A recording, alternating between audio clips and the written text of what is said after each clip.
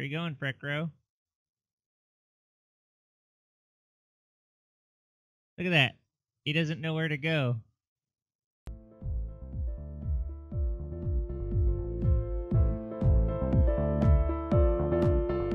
Hello, everybody. Welcome back to another episode of Big Ton Plays EverQuest. I'm on the Vox server, and I'm working on the Hero's Journey achievement quests. Making a name for yourself. I'm on the collect eight pond alligator hides part of the quest for What a Croc. So this dude wants me to gather alligator hides off of these alligators that are in this lake right here. I'm in Crescent Reach.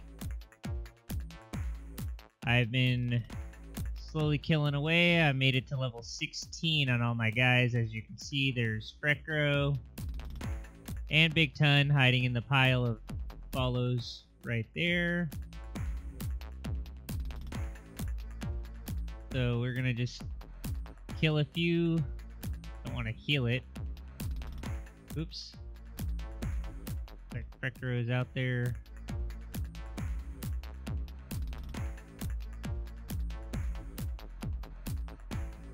So do our little routine here.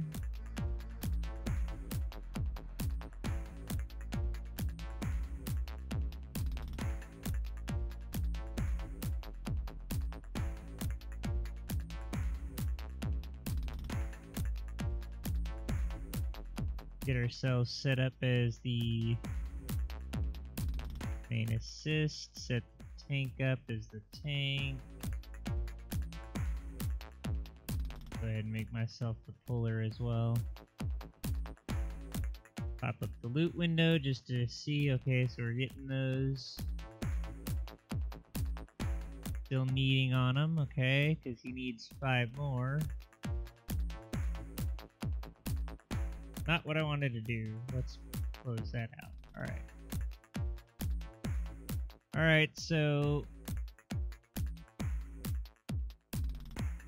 I guess I'll just talk about my key bindings. Been watching other YouTubers play a little bit of EverQuest. And on one of them, I was noticing that they actually manually click the sit button Which, you know, if that's how you play, that's how you play. Nothing wrong with that. Not how I play. So I was going to talk about how I play. So for me, I use, you know, the WASD for moving, and I use the mouse to steer. So I don't like to move my left hand around the keyboard very much, so I try to keep it, you know, so that I can kind of like within a very short distance of my fingers be able to navigate my spells and whatnot. So to sit down, for me, I just hit X. Just a quick middle finger down, you know, just X. S is to back up, obviously. Get my guys running around like a bunch of goofballs. Where are you going, Frecro? Look at that. He doesn't know where to go. He's right there. So I'm going to do the next quest here, which is becoming a hero probably off camera because I think that might be the last quest for Crescent Reach, but I'm not gonna make a dis- you know a decision at this moment because if it's not, then I don't know because I am getting terrible frame rate inside Crescent Reach here.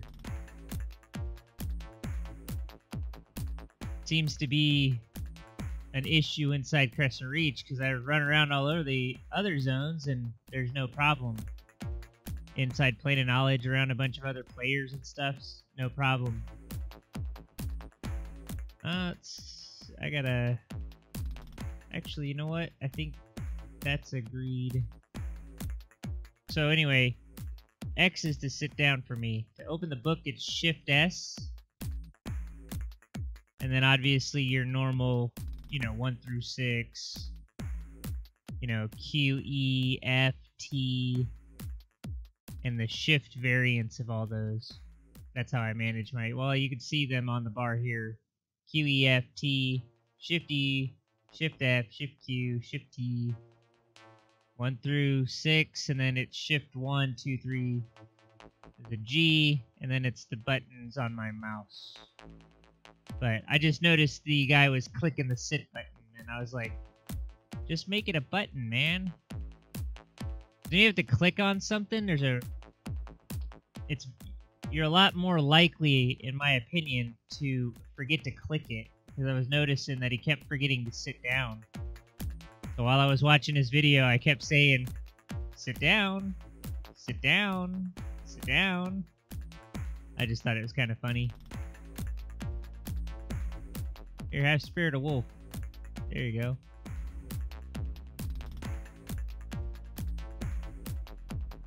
Alright, back to killing the alligators. So try to kill the ones on the shore because they don't like going in the water because the Iksar swims so fast that Big Ton keeps getting left behind, but doesn't look like they're anymore on the shore, so.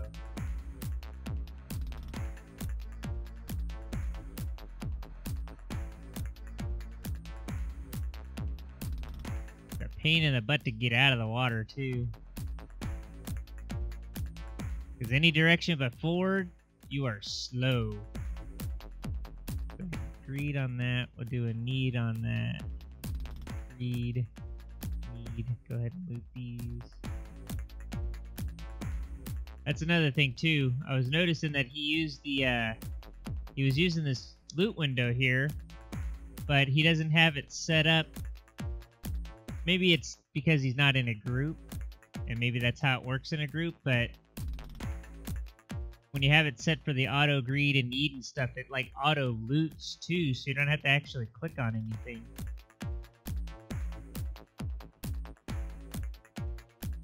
Everything. Alright, everybody's looted up.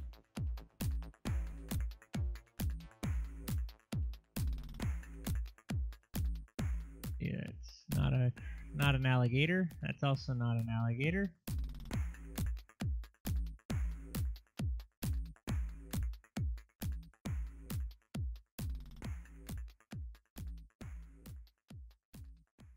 To wait for Big Ton to climb up out of the water if he can get out of the water. Hey. Then they're suffocating.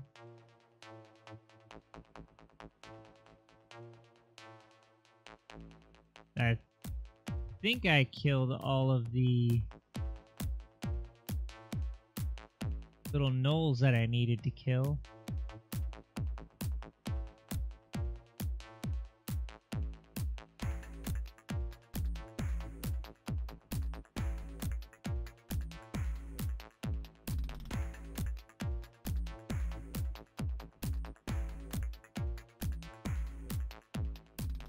Skill up, Frecro.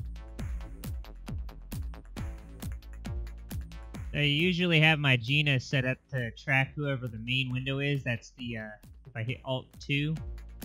So when I load up, I decide who I'm going to basically drive with. And that person I put on Alt 2. So Alt 1 is Frecro, and I forgot to change who it's tracking for like skill ups and whatnot. Just because he's in my way.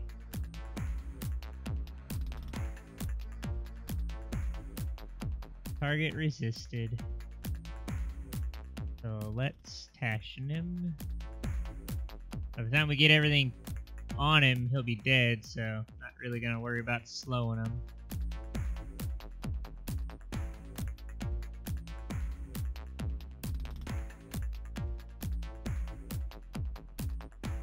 Go ahead and buff our party up.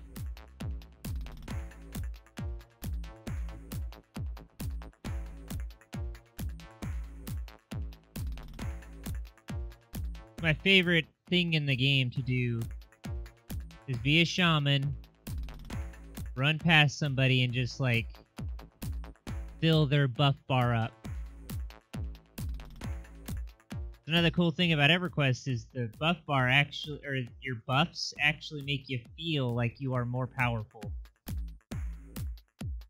I remember playing World of Warcraft and you'd get your well-fed bonus and your flask and stuff, and it's like you were you were you know technically more powerful, but it didn't make you feel like you were more powerful. You know what I mean? It was like, yeah, I got my buffs on, like the three buffs that I can do. In this game, though, man, there are buffs that are like game changing, and I love that. It's like one of my favorite things about this game.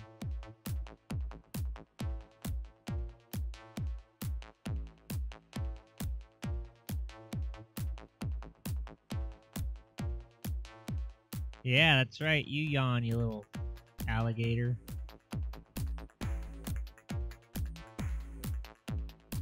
Nope.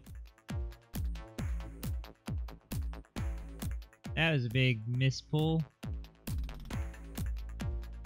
Can I enthrall you? No, because I don't have it up.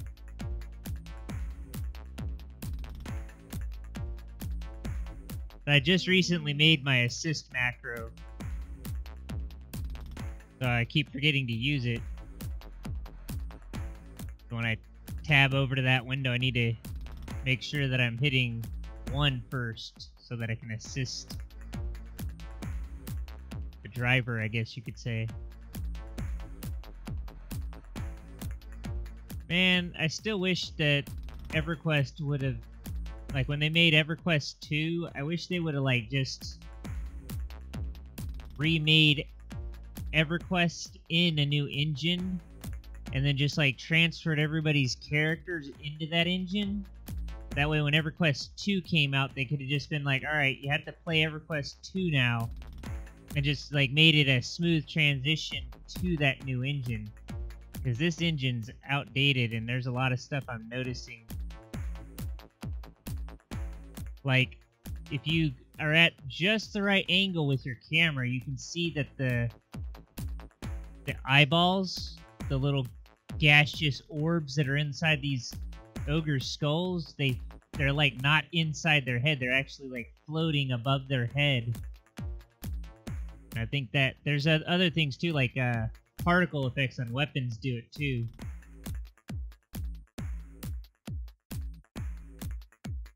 Just one of those little things where you're like, really? Like the game is that old?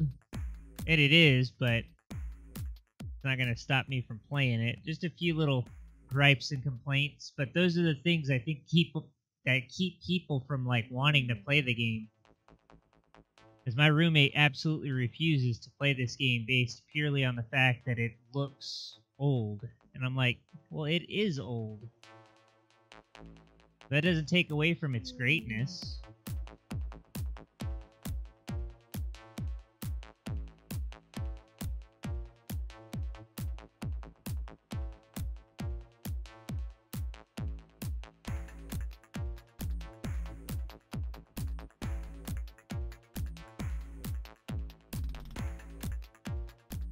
That guy.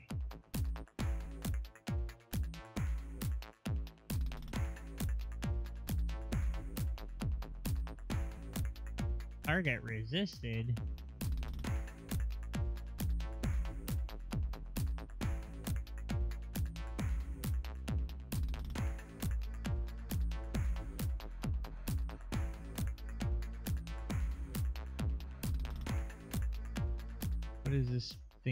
Problem.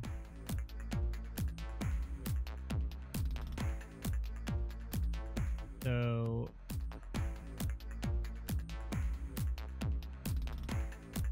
auto need need What's its problem? Hmm, what's it want me to do?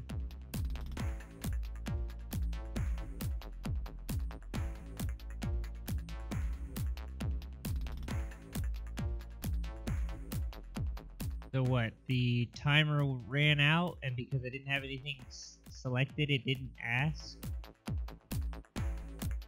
Wonder if that's what.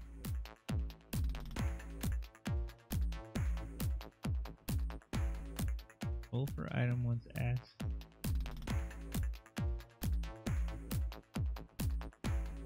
Still getting that figured out. A Couple little things here and there.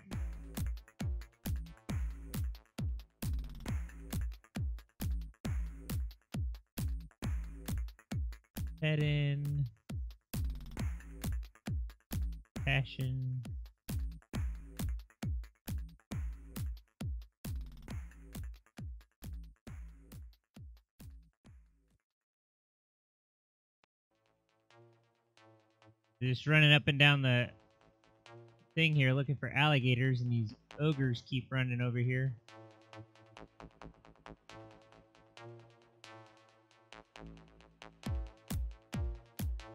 Oh. Wasn't in the water quite enough.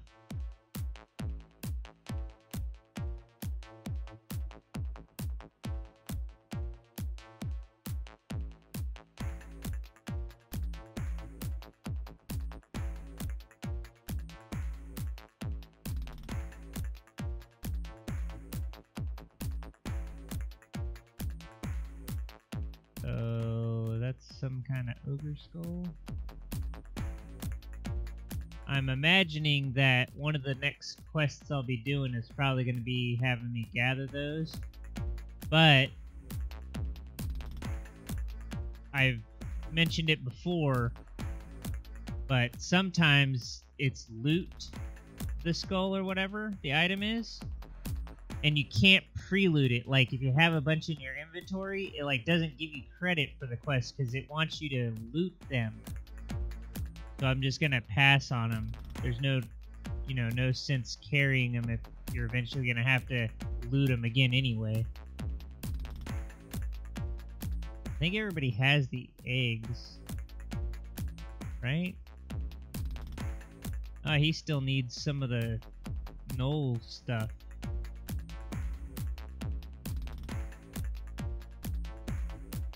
So he just needs. Oh, he needs the bits off of there too. Okay, so I'm I'm killing crocodiles and the gnolls still. Oh, that's right. Last time I was killing the gnolls, there was a there was a group or something sitting by here that was uh, killing them all. So there wasn't enough gnolls for me to complete the quest because I gotta complete it three times. You dodged the blow.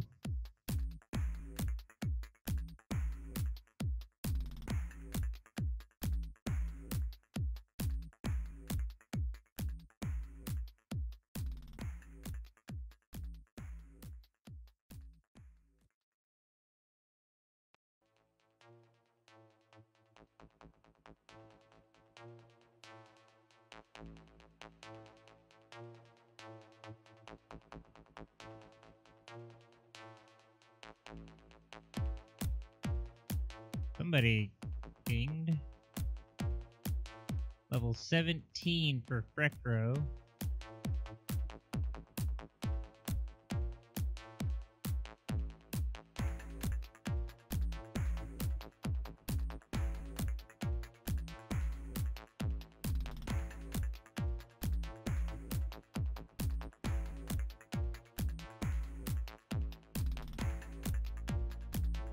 Typical EverQuest. Dinging all over the place. Yeah, typical EverQuest. It's like several levels lower than you, and it'll just like have unfathomable resists against your spells. Usually it's when you're uh you know, when you're like low on mana. When you're low on mana, all of a sudden they just start resisting everything you throw at them. It's like, what in the heck? That's gonna do it for this episode. I'm gonna finish a couple of these uh, things off camera, and then maybe I'll queue up the uh, turn-ins, and then uh, gathering up the next set of quests. So, if you like this video, click the like button. If you're new, go ahead and subscribe. Put your comments down in the comment section below. Check the description for links to social media and ways to help my channel. And I'll see you guys in the next episode.